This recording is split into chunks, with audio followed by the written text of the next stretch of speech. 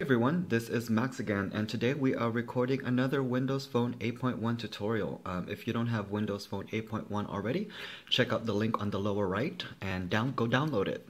Alright, so here we go. Um, today we're going to focus on one thing, and that's app folders. Um, with the new release, finally we have app folders without the use of another um, application. So before Nokia released this app folder application, now we can just hold take a file on top of another application and you can see here that it creates um, a effect of folder um, like a tic-tac-toe sign and voila. And from here you can name your folder. Um, I'll just name it P for testing.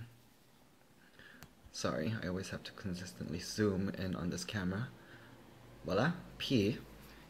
And if you tap anywhere outside of here you will have this particular folder with that name.